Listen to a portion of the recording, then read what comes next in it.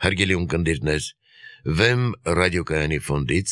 ձեզ ենք ներկայացնում ձայնագրություն աշխարհ հայացք հաղորդաշարից։ Վեմ ռադիոյի աշխարհայացք հաղորդաշարի դիմանկարում գեղանկարիչ Կայծ Վանիկյանն է, նրա հետ կզրուցի Արաքս Պողոսյանը կայծ դատելով ձեր անունից եւ ձեր եղբոր անունից կայծն ու շանթարքելը կամ կայծն ու որոտը ձեր ընտանիքից անպակաս են եղել ենթադրվում է. Համենայն դեպս հետաքրքիր անվանացանք է ձեր հայրը որքան գիտեմ հեղինակը ինքն է անունների ընտրության ձեր անունը կայծակ որ հետո կարճ դարձել է կայծ եւ ձեր եղբոր անունը որ եւս նկարիչ է փայլակ որ հիմա ստորագրում է փայլ այո Եվ ձեզ մոտ արշալույսները խաղաղ են։ Նախ շնորհակալություն հրավերի համար այս հրաշալի ստուդիայում այո, շատ խաղաղ, հայրը շատ օրիգինալ մարդ էր իր մտածելակերպով, ինտելեկտով բավականին, եւ ինքը որոշել այդպես, երևի ինչ որ քրոստանն էլ լուսին, երևի երկնքի հետ ուզեցել է կապի ինչ որ երևույթների հետ։ Այդ ոնց ստացվեց, որ մեկ ընտանիքում երկու նկարիչ, Փայլը եւ Կայծը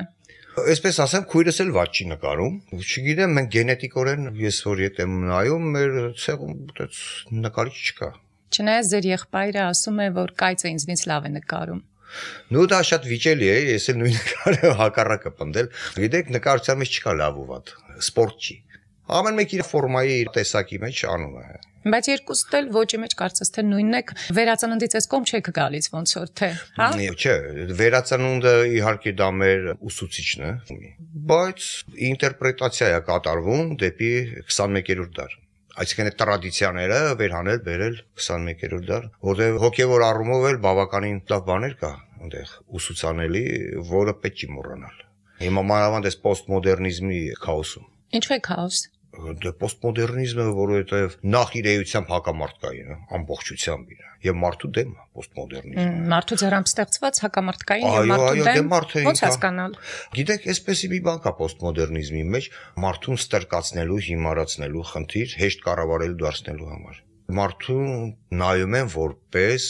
կենթանի ընդամենը, հանում են միջից հոգևորը եւ սպանում են մարդու մեջ հոգևոր բոլոր բարոյական նորմերը եւ այդ դատարկությունը լցնում են բոլորովին այ իդեոլոգիաներով Այսինքն դա արել են արվեստից հեռու մարդիկ, հնարել եւ պարտադրել կանխամտածված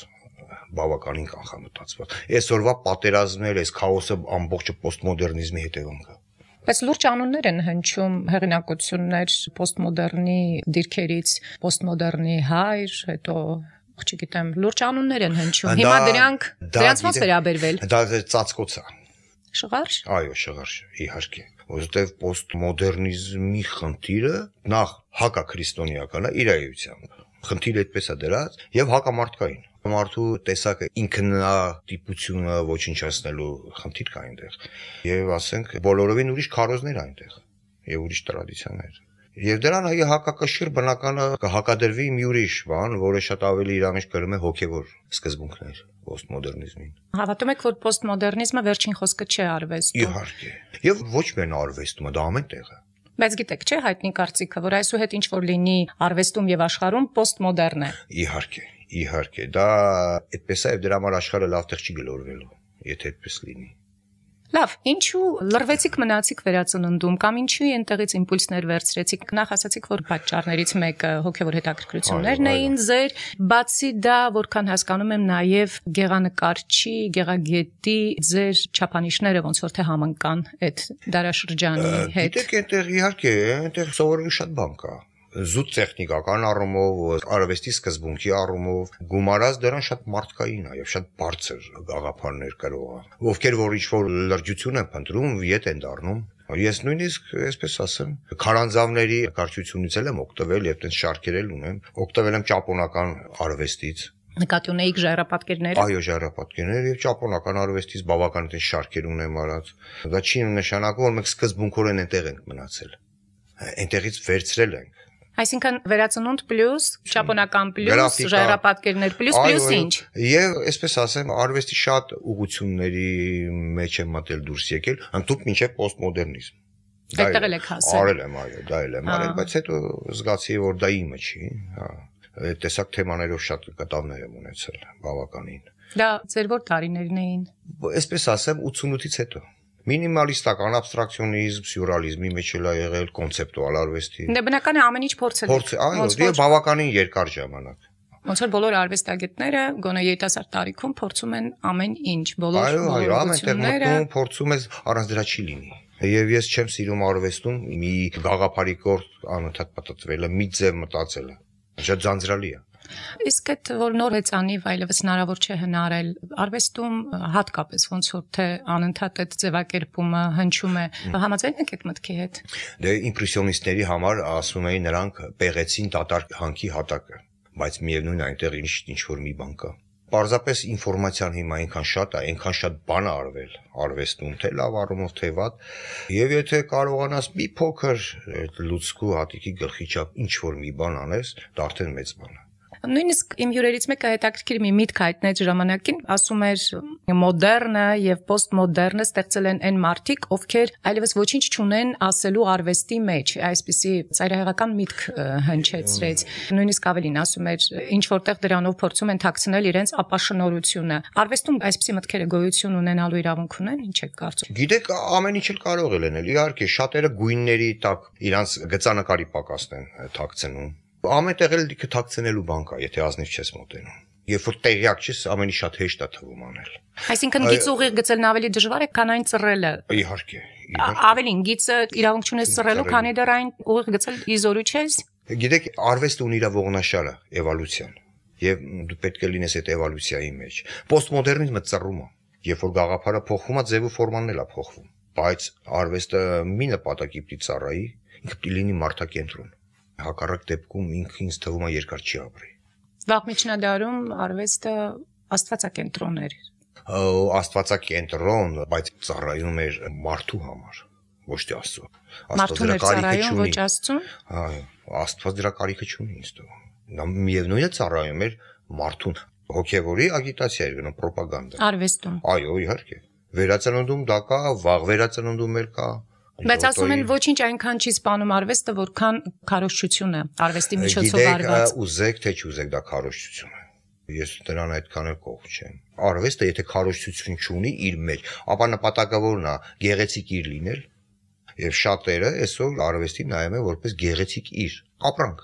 որ տանի իր պատից կախի 1-2 ժամ։ Հավելին, պոստմոդեռնում գեղեցիկ հասկացությունը ընդհանրապես դուրս է եկել։ Նրանք երկում են, դա այլ ուրիշ ծայրահեղություն արդեն դա բոլորովին այդ է։ Այդ գեղեցիկի ռոպագանդան պետք է ունենա իդեոլոգիա, ասելիք ունենա։ Հակառակ դեպքում ինքը կմնա որպես գեղեցիկ իր ընդամենը։ Այդ վերածնունդը ինքը հենց այնպես գեղեցիկ չէր, չէ։ Ինքնանպատակ չէր։ Ինքը ռոպագանդա էր անում Բայց վերածննդին էլ մեղադրում են, գիտեք ինչու՞մ, որ քրիստոնեական շղարշի ներքո անտիկ շրջանի հեթանոսական արժեքներ սկսեցին փառաբանել։ Համաձայն եք դրա հետ։ Անտիկ շրջանում կատարյալ էին անում ամեն ինչ, բայց մեն մարմինը Ամբողջ հունական հզոր արվեստը շատ մարմնական էր, զուտ մարմնական։ Ավելին, նրանք աչքեր չունեին, չէ՞։ Այո, այո։ Վերցնեք Միքելանջելոյին, այդ հզոր երկարին արվեստը, նույնիսկ ավելին է քանստի արվեստագետ։ Նա այդ ամեն ինչը վերցրեց եւ հոգի հաղորդեց։ Նրա Դավիթը կամ Մովսեսը երևում է որ գալիս է հունական անտիկ, բայց բոլորովին ուրիշ խորուրդ իր մեջ հոգևոր բան կա արդեն։ Բովանդակությունը փոխվեց։ Այսինքն ինքը այդ մարմնին հոգի տվեց որտեղ հունական անտիկ արվեստը, որը կատարյալ էր արտակինով, բայց նրան պակասում էր այդ հոգին։ Այսինքն տվեց այդ աչքերը։ Այո, այո, տվեց դա ինքը Մովսեսի արձանը երբ որ վերջացնում է, չէ, խփում է մուրճով, դա ասում է խոսի արձանին։ Եվ ինչ խոսում է։ Դե իհարկե ինչ հիմա խոսում, բայց լսողներ են պետք։ Բայց կարծես թե վերածննդի շրջանում նաև փառաբանվեց մերկությունը, կանացի գեղեցկությունը իր ամբողջ մերկությամբ։ Հիմա դա դա ինչ բովանդակություն էր քրիստոնեական, ինչ եք կարծում։ Հրաշալի է։ Գիտեք, ամեն ինչն էլ կարելի է ինչ որ պրիզմայից նայել, նայես դու ոնց ես նայում դրան։ Դա արդեն մարդուց է կախված թե ինքը ոնց է նայում։ Համենայն դեպս վերածննդի վարպետները փորձել են անել կատարյալ այդ ամեն ինչը։ Եվ ես երբեք այնտեղ գռեկություն չեմ տեսել։ Կատարյալ է եւ շունչ ու հոգի կա մեջը։ Նայած ով ինչ պրիզմայից է նայում։ Հետաքրքիր է, որ դուք երիտասարդ տարիներին ձեր, երբ Բաքում դեռ խորհրդային ժամանակներն էին, դուք խաչելություն եք միշտ նկարել, խաչելության տեսարաններ Այո, շատ ունեմ, բազմաթիվ։ Որտեղից այդ տեսարանները հայտնվեցին ձեր գիտակցության, ենթագիտակցության կամ մտահայեցողության մեջ, որ հետո հանձնվեցին կտավին։ Գիտեք, երկուսն էլ կարի, թե գիտակցությունը, թե ենթագիտակցությունը։ Նախ այդ հոգևոր նկարչությունը ինքը հակադրվում էր միջավայրին այդ միջավայրին, որովհետև դե բոլշևիկյան երկիր էր, կարելի ասել ստրկատիրական նույնիսկ, մարդիկ պարզապես դա չէին հասկանում Բայց շատերը ձեզ հետ համաձայն չեն լինի, գիտեք, հենց այդ օրերում ապրած շատերը։ Հասկանում եմ, հաց ու պանիրը կար, էս կար, ամեն ինչ ինչ որ չափով կար եւ ոչ ավելին։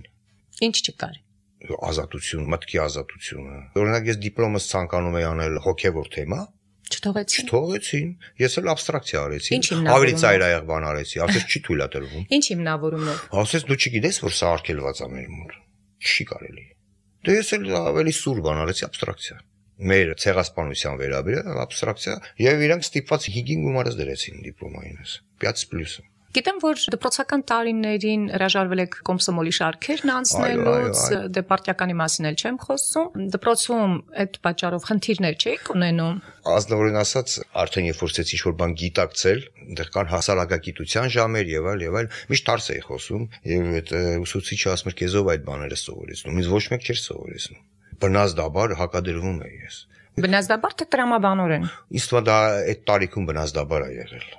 որովհետև ես ամբողջ կյանքում չեմ սիրել բռնություն եւ ես ինքս երբևիցե որևէ մեկի վրա չեմ բռնացել կամ մտքի վրա։ Իսկ երբ որ պարտադրում են քեզ ինչ որ բան, անկախ քեզանից հակադրվում ես։ Բռնության ձևերից ամենավտանգավորը մտքին ուղված բռնությունն է համարում։ Այո, գիտեք, ինձ համար ամենազզվելի բանը, որ ես կարող եմ տեսնել, դա մարդ կոտրելն է ինձ համար համենայն դեպս, երբ որ փորձում են մարդ կոտրեն, փչացնեն եւ այլն, սարքեն իրենց նման։ Դրա դեմ ինձ թվում է այն մարդը, որ ներսից ազատություն ունի, անկախ իրանից կամ բոստանը, այդ ամեն ինչի դեմ։ Ձեր հայրը գիտնական պատվավոր հարգարժան մարդ էր եւ համոզված կոմունիստ, ինչպես դուք եք ասում, եւ նույնիսկ այն ժամանակ ոսկե ձկնիկներ կոմունիստ։ Ոսկե ձկնիկներ կոմունիստ։ Բայց ձեր հայրը համոզված կոմունիստ էր եւ այդպիսի տան մեջ հանկարծ մեծանում է մի երիտասարդ, որը հրաժարվում է կոմսոմոլ լինելուց։ Այդ տեսակ նաեւ եղբայրս էր, այդ տեսակ քույրս էր։ Մեր բոլորի մեջ կար մի հատ հոգեվոր տրամադրություն։ Դա մեր մայրիկից էր գալիս այդ հոգեվոր բանը շատ հրաշալի գին էր։ Մեզ լողացնելուց ամեն անգամ ես հիշում եմ, ասում էր Հիսուս Քրիստոս, ջուրը լցնելուց։ Եվ դա մեր մեջ տպավորվել էր։ Հայրս էլ հակառակն էր։ Այսքան հաղթեց մայրական դաստիարակությունը։ Այո։ Դե հայրս վերջում իհարկե սկսեց շատ բաներ ընկալել, ինքը մաքուր մարդ էր։ Երբևիցե նրա մոտ բացառված էր կաշարկը բառը վերցներ այդպես բան չկար եւ բոլորը գիտեին։ Է, իսկ է այդ երկուսի համագումարը ինչ որ մի բան։ Ձեր հայրը կենթանի է դեռ։ Ոչ, ոչ հայրս, ոչ մայրս։ Իսկ ինչպեսին հեռացավ այս կյանքից։ Համոզված կոմունիստ։ Ոչ։ Ոչ։ Հետաքրքիր։ Եվ ոչ ինքը վերջում աստուանուն էր տալիս։ Ինչպես դա եղավ։ Դե հիվանդացավ, հա, քաղցկեղով մահացավ 75-6 տարեկան։ Իսկն մարդուն պետք էր քաղցկեղով հիվանդանալ, որպեսզի աստուանունը տա։ Ահա, վերջում արդեն աստուանուն էր տալիս։ Դե աստված ողորմած է այդ հարցերում։ Պաստորեն ձեր գաղափարական այս արճակատումը դասարանում եւ ուսուցիչների հետ երևի ենթադրում եմ պատճառ եղավ, որ դուք նաեւ այդքան էլ լավ չսովորեցիք դպրոցում։ Շատ վատ էի սովորում։ Հայրս մի օր զանգեց բանակ, բանակում ծառայում է սովետական, ասեց տղա ջան, կոմսոմոլի հարցերը լուծի այդտեղ։ Հետո որ գաս պարտիայի շարքերը մտնես, ես մի լավ խոսք ասեցի, ինքը միանգամից կախեց հեռախոսը եւ այլևս չէր զանգահարում։ Հետաքրքիր է, այնքան ձեր մասնագիտությունը հաղթեց եւ այսպես գոլ ուղակի խփեց, որովհետեւ մեկ քննությամբ ընդունվեցիք սկզբում։ Այո, չէ, ես ուրեմն միջև այդ գնում էի նկարչական խմբակներ երեխա ժամանակ, պիոներ պալատներ էր կոչվում այն ժամանակ, հետո 4-րդ թե 5-րդ դասարանում Կոջոյանի Գեղարվեստի դպրոցը, հետո Գեղարվեստի ուսումնարան, այնտեղ կարմիր դիպլոմով ավարտեցի եւ մեկ քննությամբ ընդունվեցի ինստիտուտ մանկավարժական ինստիտուտի գեղանկարչության եւ գծագրության ֆակուլտետ։ Ինչպես եք վերաբերվում մեր երկրում այսօր կատարվածին եւ շարունակվող գործընթացներին։ Ազատության շունչ կա ամեն ինչում։ Պարզապես դա պահել է պետք։ Նոր է պայքարը սկսվում է ամեն ինչի։ Այս ամեն ինչը դեռ խաղ է։ Հետագայում ուժեր կհայտնվեն, հին ֆոկուսնիկները կգան։ Կգան ամեն դեպքում։ Հա, չկփորձեն գալ։ 88 թվից հետո եկան ֆոկուսնիկները Դրանք լավ տաղանդավոր ֆոկուսնիկներ, աճպարարներ չէին, նույնիսկ ֆոկուսնիկներ, աճպարար բառը իրենց չի սազում։ Գուցե դարձան այդ ձեր ասածը։ Չէ, չէ, իրանք այդպես եկան։ Այդպեսին եկան։ Պատրաստ, ինֆորմացված եկան։ Լավ, գիտեմ, որ աստվածաշնչյան թեմաներ եք նաև նկարում, հատկապես աստվածաշնչյան որ թեմաներն են ձեզ գրավել եւ դրանց շուրջ խորհելու, մտորելու առիթ դարձել։ Գիտեք, ամբողջ կոնցեպցիան է ինձ գրավել ամբողջ իդեալոգիան եմ վերցրել։ Ինձ գրավել այդ մոտեցումը, մեկնաբանությունը այդ ամեն ինչի։ Օրինակ Ռեմբրանդտ ունի խաչիցի չեցում, որը ապշելու է, կամ անարակ որդու վերադարձը Ռեմբրանդտի, ինքը արդեն այդտեղ չի նկարել։ Ինչն է կարևորել ձեր կարծիքով։ Շնչել է ու արվել է դա, էլի, որ ասենք ուզենաս դա այդպես նկարես չես կարող։ Իսկ շեշտը ինչի վրա է դրել անարակ որդու վերադարձի մեջ կտավում։ Ինչ է կարծում։ Ասեմ, ամբողջ շեշտը դրած է հոգեվոր մակերեսի վրա։ Դա արդեն նկարչություն չի, դա ավելին է քան նկարչություն։ Այնտեղ շեշտը դրված է այդ հոգեվոր արտացոլման մեջ։ Ինքը հենց տենց էլ ապրել է վերջում կյանքի։ Ռեմբրանդը։ Այո, իհարկե ամբողջ մակերեսն է լցված այդ հոգեվոր իմաստությամբ, դա չի նկարել էլ որ ասես վերցրել ու նկարել նա շատ պրիմիտիվ կհնչի իսկ ինչ եք կարծում այդպեսի կտավների առաջ հնարավոր է մարդը դարձի գա ապաշխարի վերանայի իր կյանքը? Իհարկե ինձ թվում է վերածննդի եւ ոչ միայն վերածննդի շատ նկարիչների մոտ անկախ իրանցից այդ խնդիրը կա Երբ որ կա նկարչություն, արվեստ, որը մարդուն ստիպում է մտածել այդ ամեն ինչի մասին, դա արդեն հետաքրքիր է։ Օրինակ Պիկասոյի Գերնիկայի մասին, երբ որ թունում էին, որ Իրաքի վրա պետք է հարձակվեն, չէ, ՆԱՏՕ-ն այդ կարծեմ մակում էր եւ այնտեղ կախված էր Պիկասոյի Գերնիկայի մեծ տպագրությունը եւ ընդունելուց առաջ այդ նախագծի հեղինակը Պաուեր կարծեմ ասես փակեք դա վարակույներով փակեք որ չտեսնեմ Գերնիկան որպես իրեն սև գործ անեն։ Փակեցին։ Փակեցին իհարկե։ Եվ սև գործն արվեց։ Այո, իհարկե։ Իսկ ընդհանրապես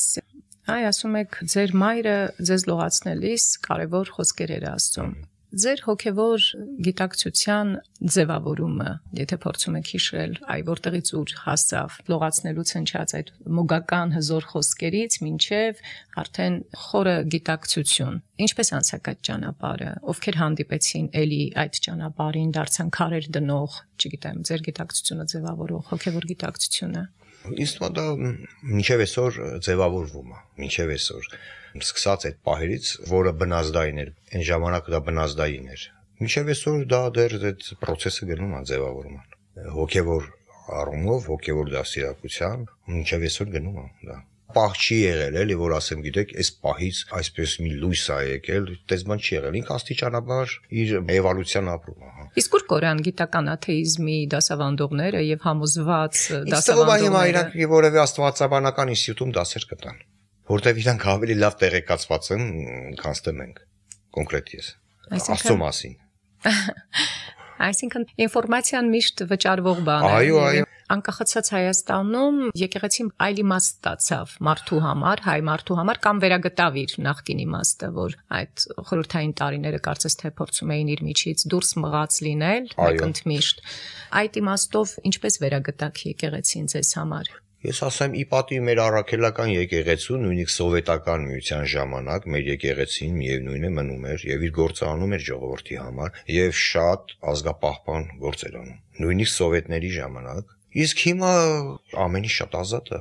խնդիր չի, ուզում ես գնա, ուզում ես մի գնա, պրոբլեմ չի էլի, այտենց պարտադրանք չկա։ Լավ, ո՞նց անես, որ ուզենաս գնալ։ Դա մարդուց է կախված։ Միայն մարդուց։ Եթե իհարկե, եթե նա դրա կարիքը ունի անպայման կգնա, դա ներքին մղում է գնալը զորով պարտադրված չի ստացվի։ Եթե մարդը չի ուզում գնա, ինչքան ուզում ես ասա իրեն։ Եթե իր մեջ չկա դա, նստած։ Այդ դեպքում ինչու Հիսուս Քրիստոս ասաց գնացեք եւ ավետարանեցեք ավետարանը ամբողջ աշխարհին։ Եթե մարդուց այո, այո, նա կլսի, կլսի, ով պետք է ակաժներ ունի, կլսի, ով չի ուզում, չի լսի։ Իսկ շատ բնական է դա, բայց մենք գենետիկորեն նույնիսկ, չգիտեմ, ինչ թվում է, նույնիսկ այդ հեթանոսական ժամանակներում մեր մեջ եղել այդ սերմը մեզ հայերիս մեջ այդ հոգևոր սերմը եղել է դրա համար էլ Աբգար թակավորի օրոք մենք ընդունեցինք չէ մեր թակավոր ընդունեց մենք պատրաստ ենք եղել դրան եղել է կան իհարկե այդպես պարտադրանքներ հետո տարդատի ժամանակ ինչ որ բաներ բայց միևնույն է ազգը պատրաստ է եղել դրան եւ իմիջիալոց այսօրվա մեր այս հեղափոխությունը դրա շարունակությունն է նույնպես չէ այդ սիրո հանդուրժողականությունը ամեն ինչը դա չէ որ գալիս է քրիստոնեական արմատներից միմյանց հանդուրժել կապ եք տեսնում այո իհարկե իհարկե դա գենետիկ կապ է իսկ թվում է շատ-շատ ազգերի մոտ դա չի ստացվի շատ-շատ ժողովուրդների մոտ մեր մոտ գենետիկ օրենք է դա Այսինքն որոշիչը կարծում եք եղավ այն, որ օրենքի ուժով բռնացող ոստիկանին բաց բռունցքներով եւ ողջագուրվելով հաղթելը եղավ։ Այո, այո, այո։ Այդ ռազմավարությունը որոշիչ եղավ հաղթանակի համար։ Այո, այո, այո, իհարկե։ Իսկ է դա հեղափոխությունների մեջ նորություն է։ Որտեւ առանց արյունի ես ցույցերի ժամանակ դե միշտ գնում ենք տղաներս էլ բոլորս բոլորս են գնում այդ հրաապարակի այնտեղ բաներ կան չէ ծաղկանոցներ կան երկար Ես ուշադրություն դարձրեցի այդքան կես միլիոն մարդ էր հավաքվել եւ մի ծաղիկ չտրորվեց։ Մարդիկ անցնում էին այդ ծաղիկների վրով, աչ կողմ, ցախ կողմ, այս կողմ, եւ ես հատուկ ուշադրություն էի դարձնում։ Մի ծաղիկ անգամ չտրորվեց։ Այնքան զգույշ էին դնում ոտքերը, եւ այնտեղ մի հատ նկարահանող կար, իսկ թվում է լրագրող էր, ասեցի ավելի շատ սա նկարի։ Սա խոսում է մեր ներքին հոգեվոր կուլտուրայի մասին։ Նկարեց։ Իհարկե, ապշեց, ասես դա սա ոնց տեսար դու ասել ասենց 200 մետր գնում է մի հատ ծաղի չի տրորվել բայց մեր փողոցները աննկարագրելի կեղտոտ են էլի եւ դեռ ավելի կեղտոտ գիտեք կեղտը կմաքրվի ոչինչ ժամանակի ընթացքում դա էլ կա իհարկե ես չեմ ասում ամեն ինչ իդեալական բան վիճակում է բայց մենք ունենք մի բնավորության գից այդ դժվար պահերին ցույց ենք տալիս մեր լավագույն հատկանիշները Այսինքն մեզ միշտ դժվար պահեր են պետք։ Դե դա գիտեք ճանապարհը։ Առանց դժվար պահերի չենք կարող Բանից բարձում է այդպես է, այո։ Երևի թե այդպես է էլի։ Իհարկե դա անցողիկ շրջան է։ Եվ ինձ թվում է մեր Հայաստան երկիրը իր մեջ կրում է բավականին հզոր հոգևոր էներգիա։ Այս փոքր երկիրը շատ մեծ հզոր էներգիա։ Այսինքն էլի կարող է այստեղից սկսվել կարևոր բան։ Իհարկե, ինձ թվում է արդեն սկսվել է այս հեղափոխությունից ինձ թվում է իսկապես որ ինչ որ բան սկսվել է այստեղից։ Հենց այնպես չի աշխարհաստեղծությունը հայոց աշխարհից է, պատահական բաներ չկան այդտեղ ինձ թվում է հիմա էլ ինչ որ հոգևոր տրադիցիա, քանի որ այսպես նայենք աշխարհը բավականին հեռանում է այդ ամեն ինչից։ Փողը, չգիտեմ, այնտեղ հազար ու մի բաներ կան։ Հայաստանում հոգևոր արժեքների պահպանման ինչ որ բաներ կան։ Պահոց, պահոց ոնց որ լինի Հայաստանը հոգևոր արժեքների Ամեն այնտեղս էս այդպես եմ կարծում։ Շնորհակալ եմ։ Ձեզ նույնպես շնորհակալություն հրավերի համար։ Վեմ ռադիոյի աշխարհայց հաղորդաշարի դիմանկարում գեղանկարիչ Կայծ Վանիկյանն էր, զրուցեց Արաքս Պողոսյանը։ Հարգելի ունկնդիրներ, Վեմ ռադիոկայանի ֆոնդից ձեզ ներկայացրինք ձայնագրություն աշխարհայացք հաղորդաշարից։ Հեղինակ Արաքս Պողոսյան